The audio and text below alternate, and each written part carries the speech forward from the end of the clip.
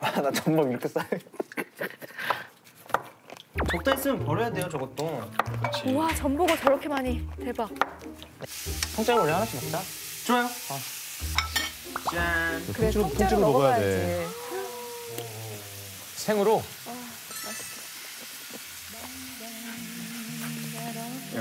막 먹듯이 그냥 먹으면. 맛있긴 하다.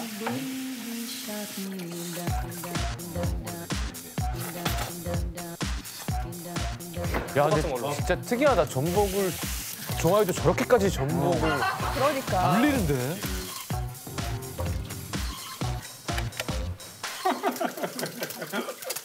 근데 전 저 먹다가 배불러가지고 어 버터향 좋다.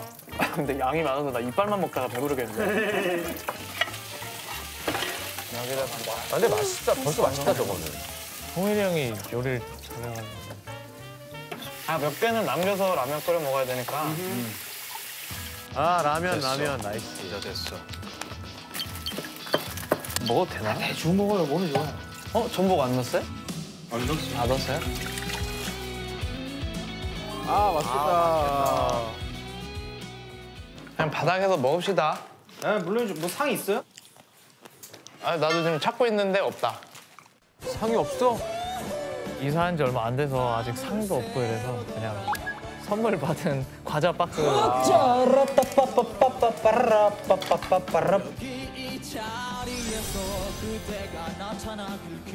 잘 끓였다 우와. 좋은데요? 먹겠습니다. 음 진짜 맛있어 보이긴 한다. 지금 우리 아무도 없는 데서 우리 셋이서만 이렇게 밥 먹는 게 처음이라고. 저희 뭐 맨날 차에서 먹거나 대기실에서 먹거나 이랬지 아예 이렇게 초대해서 같이 먹는 거는 그럴 시간 자체가 없었어가지고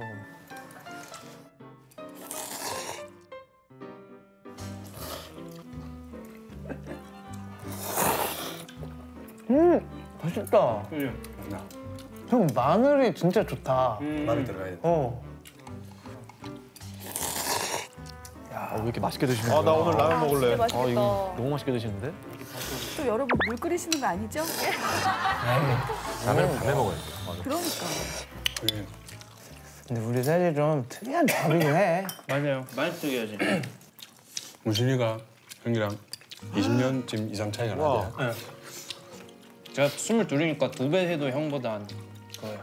성윤이가 서른셋. 서른세. 음. 나이 차를 모르겠어.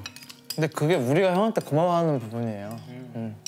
형이 어려웠으면 저희도 그쵸. 그랬을 텐데 형이 먼저 이렇게 편하게 해주셔가지고 왜 친구같이 마음 네, 열어주니까. 처음부터 우리가 편하게 해주시니까 그렇지. 와, 잘 먹었다. 근데 사실 이렇게 전복을 남겨보는 게 소원이었어. 나 오늘 아 배불러. 야, 오늘 이렇게. 컨셉이었구나 이게. 내 스스로 전복을 먹을 만한 경제력이 없었기 때문에